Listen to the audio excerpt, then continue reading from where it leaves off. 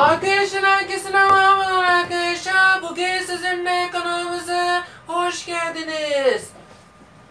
Şimdi bugün videomuz adı Zillerin dairelerin kapılarını nasıl çalınır onu göstereceğim. Anlatmaya çalışacağım yeni video karşınızdayız.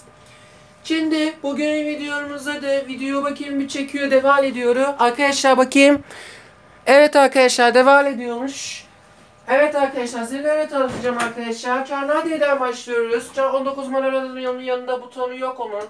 Bu tek bunlar bir tek bunlar arkadaşlar. Evet arkadaşlar daire kapısının önüne geliyoruz. Ee, bina girişin içindeki daire kapısının önüne geliyorsunuz.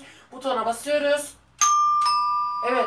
Dindon çağırdı arkadaşlar. Görmüş olduğunuz size. Zillerin e, apartmanların e, giriş dairelerin kapılarında butonların öyle çalınıyor. Öyle butonlara basılınıyor, çalınıyordu zillerinde.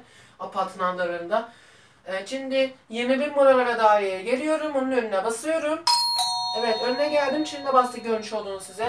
21 yazan yere onun önüne geldim. Bastım arkadaşlar. Bu kadar da basitti. Evet arkadaşlar 22 numaraya daireye geldim ben. Onun önüne basıyorum. Tek sesli kanalyamız örtüşü arkadaşlar. Ee, şimdi e, 22 numaraya çıkıyorum. E, şimdi 23 numaraya daireye gidiyorum. 23 numara daire dairenin önüne geliyorum. Sonra onun butona tıklıyorum. Onun butona tıklanınca 23 numaradaki zil çağırdı arkadaşlar.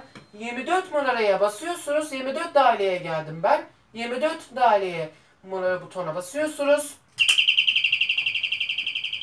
24 numarada 3 sesli arkadaşlar. 3 sesli kanalyalar arkadaşlar. Evet arkadaşlar Esenkent Aile Elektrik yazın. Bu kadar videoları çektim. Bu kadar butonların videosunu gösterdim. Kendinize iyi bak. Kolay gelsin. İyi çalışmalar diyorum.